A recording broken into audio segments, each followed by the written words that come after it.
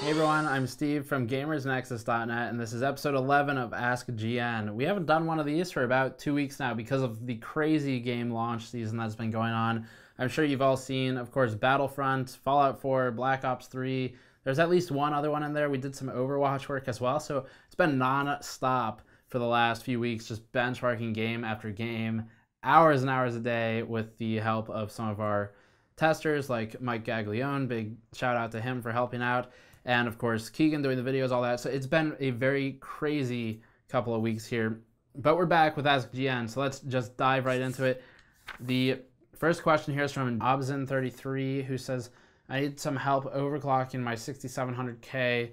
I'm using the ASRock Extreme 6 motherboard with the Corsair H105 cooler. I'm currently at 4.4 gigahertz." on auto voltage, but once I go above 4.4, it crashes even with more voltage. Should I mess with load line calibration? So this is a good question as well. One of the things that we do when overclocking CPUs for review purposes is disable all of the power saving stuff. And this is even without overclocking CPUs, we do this because it's important to get consistent test data for reviews. As a user, you can kind of leave it on, but when you are overclocking, it is a good idea to disable some of the C states if it's an Intel CPU, which in this case it is, to disable the load line calibration helps with some stuff. It helps with V-droop, which is the dip in voltage. So if you have a, a, a, voltage supply, imagine a line, just a line on a graph. Every now and then it'll dip like that.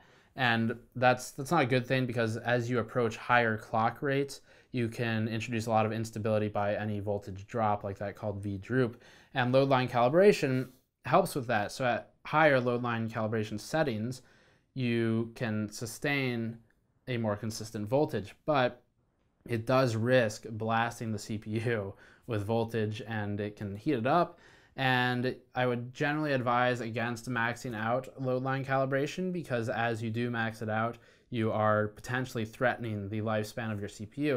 If you're planning to replace in a year anyway, it's kind of it's one of those eh, who cares? But if you are trying to keep this for long-term use i would not max out load line calibration. If you enable it to some extent your motherboard should have a recommendation if it's a good board. It'll normally recommend you want 50% if you're overclocking or you want 100% if you're doing an extreme oc or whatever. But generally using load line calibration will assist. As far as disabling it it is I probably I probably wouldn't do that unless you really have nothing else to disable. So go for the C states first. I'm just checking my own notes here because I did take some notes on this question. Uh, you'll want to do a base clock overclock. So if you're stuck at 4.4 with the multipliers, you can get a bit more out of the CPU with a base clock or BCLK increase, and that will allow finer control. So you can do smaller steps basically between the clock rates. And then you also want to do manual voltage control. So get off that auto control and switch over to manual and just do some burn-in tests to see how it performs. If you want to do a real world burn-in test, games like The Witcher 3 produce a pretty good load for CPUs. Firestrike is a very good load test that's kind of real world. You can do the combined test to stress the CPU and the GPU, but or the physics test to just stress the CPU. But that's kind of that's where I'd start with those power states, and you should probably get a bit more than 4.4 gigahertz, but sometimes the silicon is just not as good. So it is possible that your CPU in particular isn't that great at overclocking, or your motherboard could be limited. But the Extreme 6 isn't bad. You should be able to get a bit more. Next question is from Caffey O or Coffee O, who says, "Have you been?" Have you been following my search history? This was in reply to the overclock special we did last time.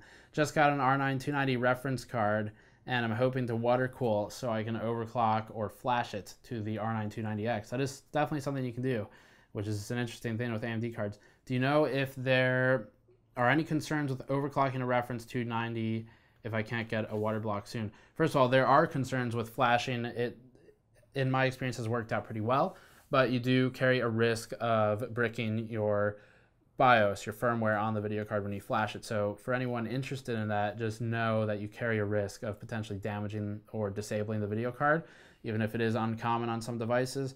And talking to reference cards only have one BIOS normally, so there's not really a, a recourse or a, a case of action you can take to resolve that. With the overclocking cards, this is one reason they're really cool. This is one reason that things like the Kingpin, just off the top of my head, exist.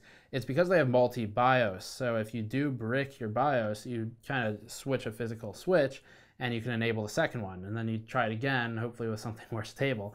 But getting back to the question here, are there any concerns with overclocking a reference 290? Yes, the concerns are thermals. So the reference 290 has a pretty bad cooler design. We actually do have a reference 290 in-house, or 290X I should say. And if you look at it, the uh, so this is our video card, right? And this is where the slot is.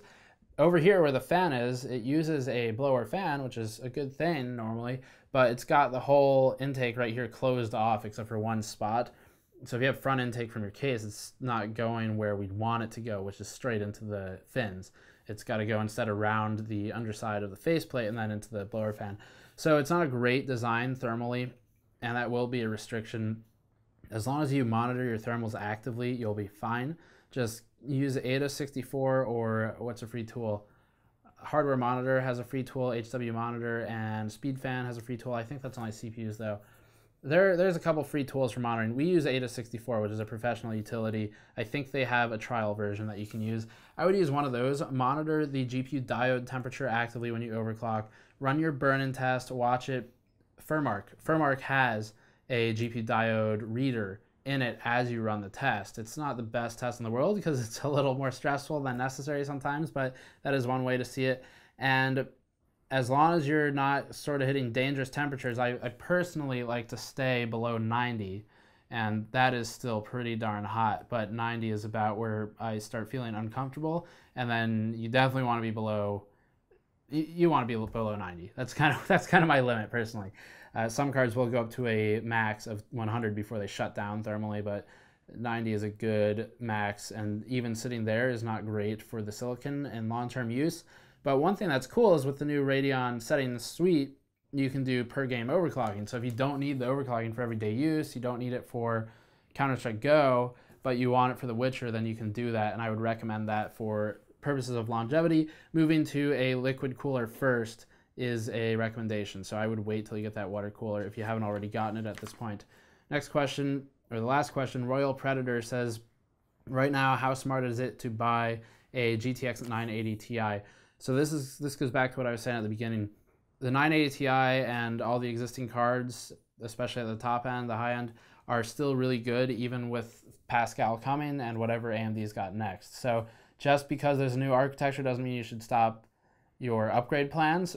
This is something we've said regularly for the last few years of operation. There's always something around the corner in the hardware world. Once it gets to Pascal, you're going to be like, should I buy this one or should I wait for whatever the next one that AMD is doing is? And I would just say if you need a card now, just buy it now because the next GPUs that will compete with the 980 Ti are quite a ways out. We're looking at 2016 sometime, probably towards the middle or end. So I, I really wouldn't hold back my upgrade plans based on an architecture that doesn't even publicly exist yet.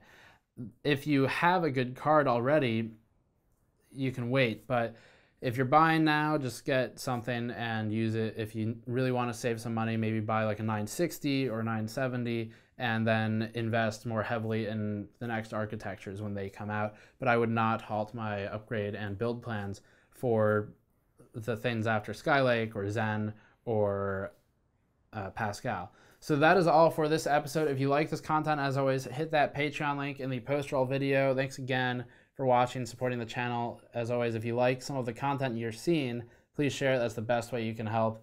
And uh, we've got some other cool stuff coming out soon. So stay tuned, and I'll see you all next time.